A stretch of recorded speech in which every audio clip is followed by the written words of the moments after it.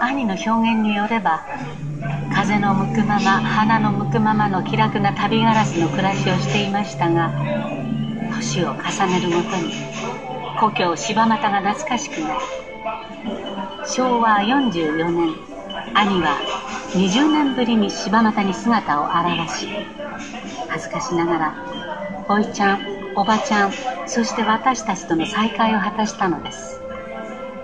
その後のことはもう皆さんご存知の通りです。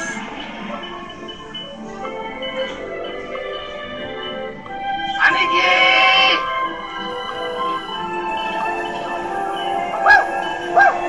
おかえりなさい！よう！元気でやってるかお前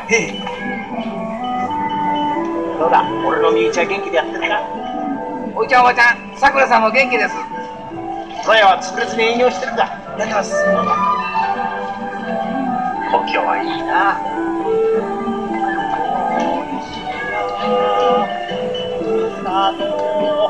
懐かしいじじいばば。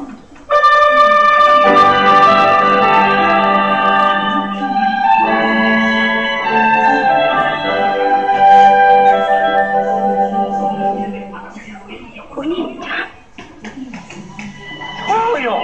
お兄ちゃんよ。うん。お兄ちゃん。